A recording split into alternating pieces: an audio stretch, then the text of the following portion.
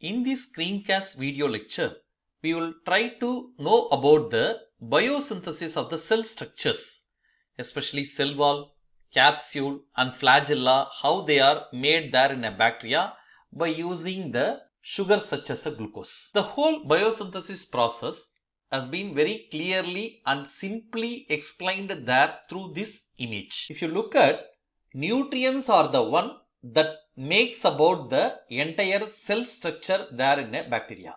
What are all nutrients? Nutrients refers to any elements or molecules or something that is present in a organic form or inorganic form that have been taken there inside the cell system. Mainly this constitutes the macro elements and micro elements which we have studied earlier and it also constitutes the various kinds of vitamins, amino acids and even the nucleotides. So they are all considered as a nutrient there in the cell system. So these nutrients are all entering inside the cell system. There they are converted into precursor metabolites. So before going into this one, you need to understand how the precursor metabolites are formed.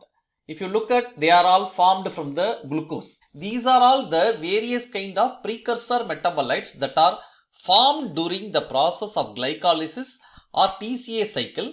They are all further channeled into the various biosynthetic pathways, mainly to produce the different structures of the cell. Okay, from where they are getting this glucose? This glucose can be obtained by an autotrophic organism by carbon fixation. That is, any kind of autotrophic organism can able to convert the atmospheric carbon dioxide into cell carbon and that can be used for the other process. Whereas, if you look at into an example of a heterotrophic organism, you may aware that most of the bacteria are heterotrophic in nature. So, they will be using a preformed carbon. A classical example is shown there. A leaf has been shown there in the background. So, leaf is a organic polymeric substance that have been abundantly present there in a earth environment. So, this leaf need to be degraded with the help of certain enzymes that are secreted out of the bacteria. That is, bacteria produce an enzyme called cellulase which is involved in the digestion of the cellulose molecule. So, the cellulase enzyme is synthesized there in the bacteria and it will be excreted out. There, it acts on the cellulose molecule and cellulose molecule are finally converted into monomeric units of glucose. That glucose has been taken inside along with different kinds of nutrients like sulfur, phosphorus, nitrate. These are all will be taken inside that results in the formation of the various precursor metabolites which I have listed here. These precursor metabolites that are of a glycolysis or through TCA cycle origin are all further channeled there into the biosynthetic reactions which also require the other nutrient which I already listed such as sulfate and ammonia. So this process is referred as an anabolic process whereas how the complex sugars or sugar is degraded and releases energy is referred as a catabolic process. Both these process together forms into the metabolism of an organism. Further, through various biosynthetic reactions, a little more complicated monomeric building blocks that are required to form the cellular components are produced. That is, fatty acids, a large molecule of a polymeric sugar, amino acids of more than a 25 numbers, nucleotides, these are all referred as the building blocks of the cell. Further reactions polymerize these monomers to form into a macromolecules. Say for example, fatty acids makes into the lipids of the membrane which constitutes about 9.1 percentage there in the cell.